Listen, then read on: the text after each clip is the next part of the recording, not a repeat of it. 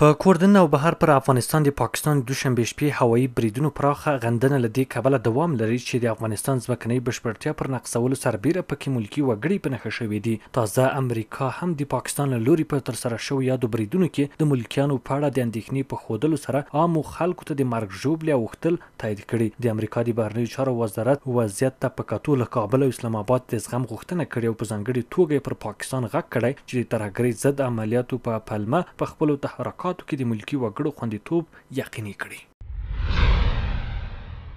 له افغانستان سره په ګاونډ شمالي وزیرستان کې د یوه برید په ترڅ کې د ملکي وګړو د مرګ ژوبلې او په افغانستان کې د هوایي برید په پایله کې د ولسي وګړو پر وژل کېدو ژور خواشیني یو. موږ پر طالبانو غږ کوو چې ډاډ تر لاسه کړي د افغانستان له خاورې څخه ترهګریز بریدونه نه کېږي او له پاکستان غواړو چې له زغم څخه کار واخلي او ډاډ تر لاسه کړي چې د دوی د ترهګرۍ ضد هڅو کې ملکي وګړو ته زیان نه رسېږي. د پاکستان د بهرنیو چارو وازرت هم په دې اړه خپره کړې اعلامیه کې ویلي چې د افغانستان پر خاوره د دوشنبې سهار په بریدونو کې د تحریک طالبان پاکستان ډلې د یو قومندان حافظ ګل بهادر ډله په نښه شوې ده. په اعلامیه کې راغلي چې په افغانستان کې وسله والو ډلو له هغې ډلې، ټي ټي پي، پر پاکستان د بریدونو لپاره تل له افغان خاورې استفاده کړې هغه څه چې اسلامي امارت تل یې ردوي.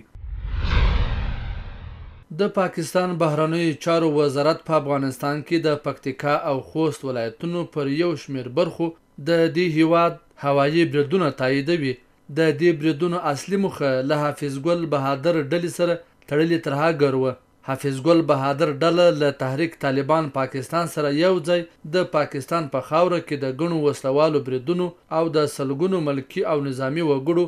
د وژنې مسؤله ده. خو د تحریک طالبان پاکستان بیا د عبدالله شاه په نوم د خپل هغه قومندان ویډیويي پیغام خپور کړی چې پاکستان یې په هوایي بریدونو کې پر نښه کولو ادعا کړې. عبدالله شاه په دې پیغام کې خپل موقعیت سویلي وزیرستان ښيي او د پاکستان ادعاوې پروپاګند بولي چې ګواکې نوموړی په افغانستان کې دی. زه عبدالله شاه یم د ټي ټي پي یوې ډالګۍ مسؤل یم خاص کر د شکتي د علاقې او چې دا کیمې په پرېګنډې خواریږي دا هغه به بنیاده دي نن د رژې اوم اوم عرض دو او او تلاسام تاریخ تای د مارچ نور کار چیر چې دا په پرېګنډې شي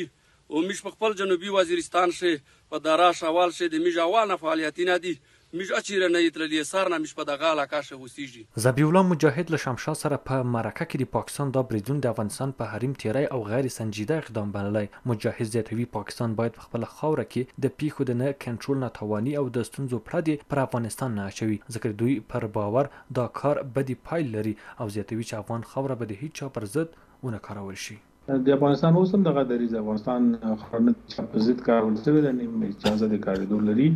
اسلامي امارت په دې مورد باندې خپل مخالفت ادا کړی ولې نور هیوادونه باید بهانهجویي ونه کړي او په ناسمه توګه باندې د افغانستان حریم سره بې احتیاطي ونه کړي ګرانه تمامېږي د سیاسي او نړیوالو اړیکو کارپوهان وايي، د پاکستان وروستی تېری د ټول نړیوال نورمونو او قوانینو خلاف عمل دی او زیاتوي، پاکستان د افغانستان ځمکنۍ بشپړتیا ته درناوی ولري، ځکه د دوی په باور یې افغانانو بیا د ملي ګټو او خاورې باندې تېری هېڅکله نه زغمي. امریه وايي، پاکستان خلاف تمام نورمهای بین المللیست که مردم افغانستان در طول 44 سال همچو عملات و مداخلات پاکستان حوصله کردن ولی همروز که در وطن ما جنگ نیست پاکستانی ها دیگه از این نایه رنج میبرن میخواین که مستقیم داخل جنگ شوند با مردم افغانستان ولی پاکستانی ها باید بدانند که شما هنوز غلام کسایی هستین که دیجه چندین بار شکست خورده هر نوع داخلی دشمنان و همسایه های افغانستان در صورت تکرار چین حال آماده دفاع از وطنشان باشند زیرا ما با داشتن چنین نیروی قوی و اتحاد ملی میتوانیم